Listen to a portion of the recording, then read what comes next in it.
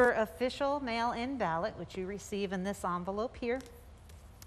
What you're going to do is open it up and take out your inside envelope. Inside that envelope, you will find a letter that explains to you why you're receiving this ballot, your options. If you need any help for this ballot, any kind of questions you have, we have phone numbers on there and website information for you. As well with that letter, you will find your ballot. Every ballot is marked by your municipality, which you'll find right up at the top of your ballot here. You have all of your candidates in the columns. In the gray column here at the end, it tells you the race and how many you can vote for in the row going across. If you want to write somebody in instead of voting for a candidate that is on your ballot, you will need to write their name and fill in the oval. All of the choices are made by coloring in the oval, like you see in the picture here.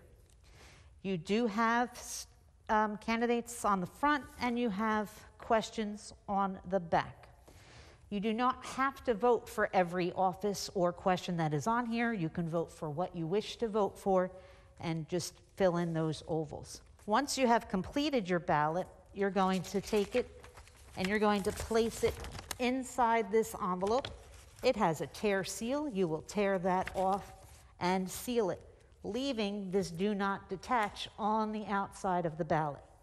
You need to fill in the information that is on here. It is your name, your address, your municipality, and you sign on the line. If you have difficulties coloring in these ovals, you can have someone assist you and they would need to complete the bottom section stating that they helped you fill in your ballot.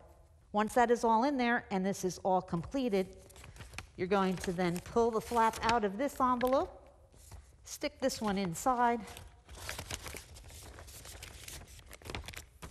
peel this seal off, and seal it.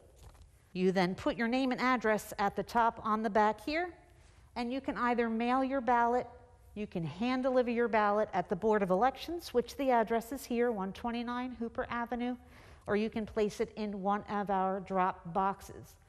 The drop box locations can be found on our website at www.oceancountyclerk.com.